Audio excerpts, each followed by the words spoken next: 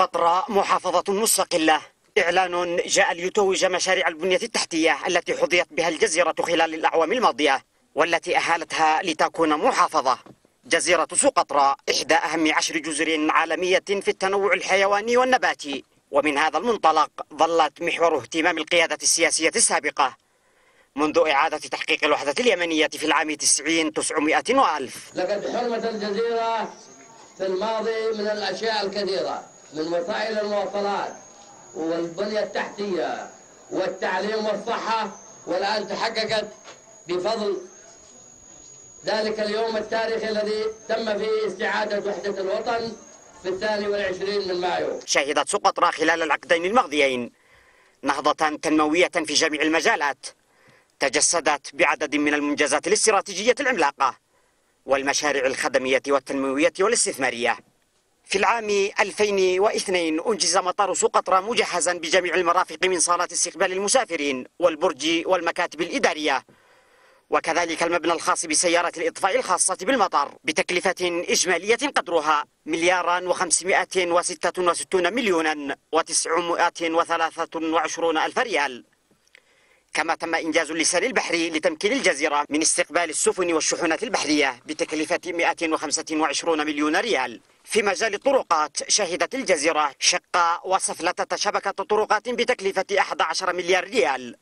ربطت مناطق ومدوريات الجزيرة ببعضها من الشمال إلى الجنوب والشرق والوسط.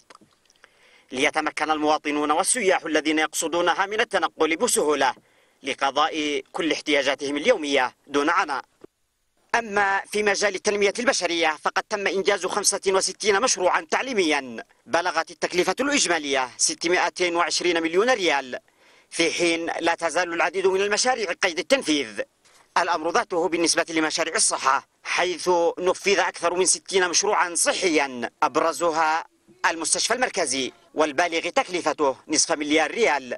وإلى جانب المستشفى المركزي أنجزت مشاريع صحية أخرى بلغت تكلفتها الإجمالية 200 مليون ريال توزعت على وحدات ومراكز صحية في مجال البنية التحتية. تم إنشاء مشروعي مياه لمدينتي حديب وقلنسية وبناء المجمع الإداري للأرخبيل بتكلفة إجمالية بلغت 208 ملايين ريال. كما تم إنجاز مشروعي كهرباء المديريتين من خلال وضع مولدات كهربائية بتكلفة إجمالية بلغت 200 مليون ريال.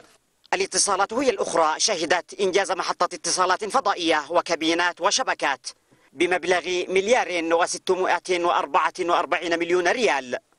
كما تم إنجاز محطة الاستقبال والإرسال لشبكة الهاتف النقال يمن موبايل وهي الوحيدة في الجزيرة. وفي المجال الزراعي شيدت الحكومات السابقة عشرات المشاريع الزراعية.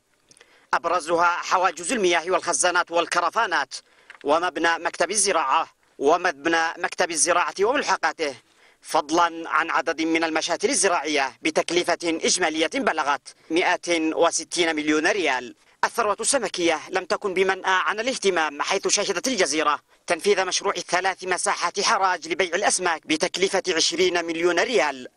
وكذا العديد من مراكز الإنزال السمكية ومصانع الثلج وغيرها من مشاريع البنى التحتية السمكية.